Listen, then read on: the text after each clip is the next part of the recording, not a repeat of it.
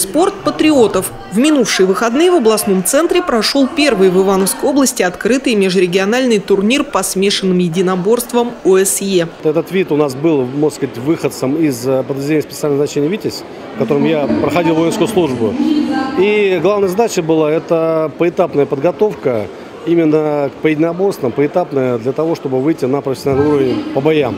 Соответственно, для чего нужен был данный вид сделать? Для того, чтобы мы могли сами провести определенную сетку соревнований от любителей до профессионалов. В межрегиональном турнире приняли участие больше 200 бойцов со всей Центральной России. Большое количество участников объясняется тем, что смешанные единоборства в нашей стране популярны. Выступать в дисциплине ОСЕ могут также бойцы ММА, панкратиона и других схожих видов единоборств. Именно поэтому рассчитывать на то, что раз спорт молодой, сильных соперников немного, не приходится. На данных соревнованиях ивановских спортсменов представлено э, в районе 70 человек.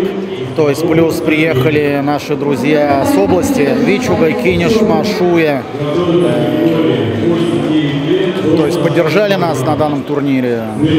Приехали. Вообще на нашем турнире заявлено в районе 230 человек. Выступают возрастные группы от 8 до 17 лет. ОСЕ – спорт сравнительно новый не только для нашего региона, но и для всей России. Но у него уже масса последователей, главным образом молодые люди, которые мечтают в будущем посвятить себя военному делу. Но этот вид спорта мне нравится, потому что в будущем есть большие перспективы.